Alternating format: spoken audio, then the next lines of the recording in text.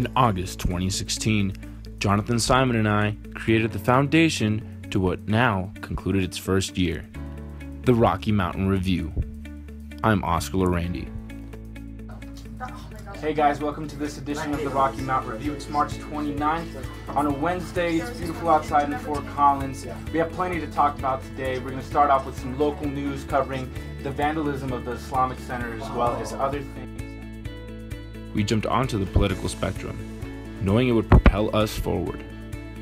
Our first real test came at the hands of the Donald Trump rally in Loveland when he ran in the primaries the electrifying patriotism and political importance we felt took over and created the staple for the Rocky Mountain Review.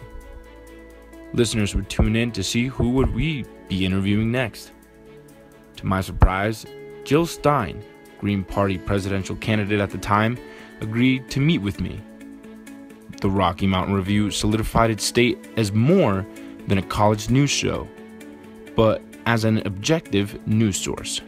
We went from doing state and national politics to local, covering this past year's ASCSU election too. Ultimately, it was the encouragement and complete buy in by the Rocky Mountain Review staff that helped grow our credibility and our craft.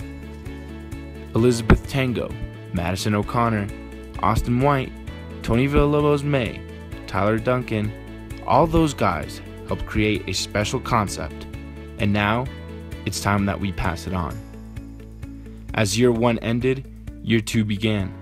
Gabe Peterson and Julia Batalise will be taking over as news directors with everything in front of them ready to grow. So again, for John and I here on 90.5 KCSU in the Rocky Mountain Review, for all our reporters, make sure to tune in next week and make sure to donate. Uh, we're signing off. Have a good weekend, guys.